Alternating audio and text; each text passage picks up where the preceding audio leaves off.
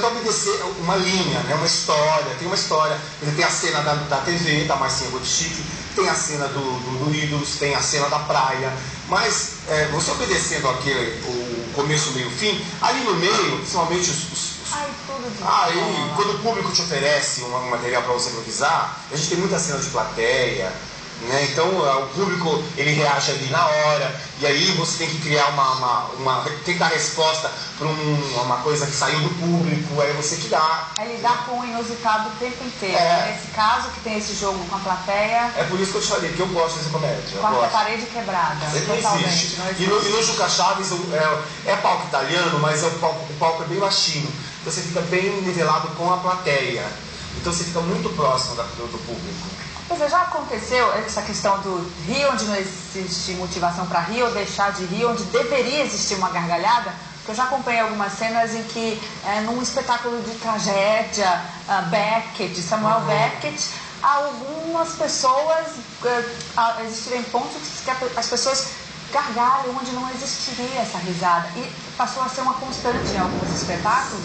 E aí você acaba descobrindo o humor daquele pedacinho que o público te deu. Que o público deu. Isso aí também aconteceu, esse inverso. Você fala, nossa, essa cena não tem graça nenhuma, não era pra mim. Acontece, porque a Denise falou, né? A Denise falou muito o bem. O sambinha dela. É, cada. De repente. É, cada público é, reage de uma forma e cada sessão é diferente da outra.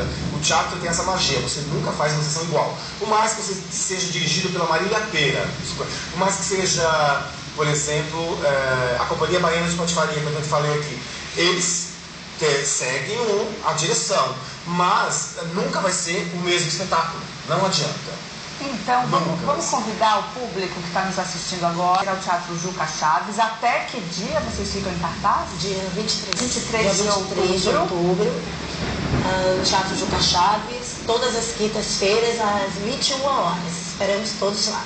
No Itaim, que é na. Né? É, Rua João Cachoeira, João Cachoeira, dentro do hipermercado Extra.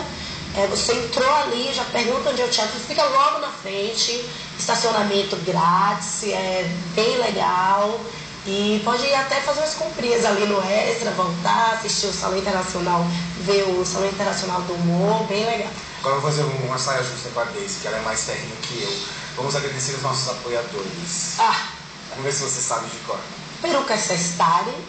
Nós vamos agradecer as perucas Sestari que nos ajudou.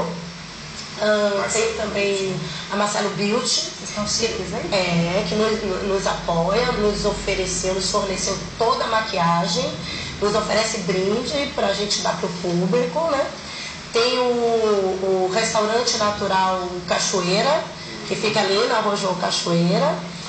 Né? Tem a padaria Palma de Ouro, Palma de Ouro que também nos ajuda. Good Shop. E o Good Shop que, desses aqui faz coisas faz coisas maravilhosas, saberecistas. Shop maravilhoso. Um beijo pra ele.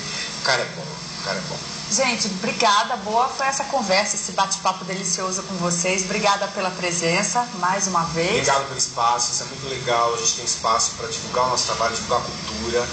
E é muito, você é muito simpático, muito obrigado. Muito obrigada. O espaço está sempre aberto para divulgar coisa Obrigada. boa como essa, para a gente bater esse papo sobre comédia. Obrigada também a vocês que nos acompanharam. Até o próximo Revista. Tchau.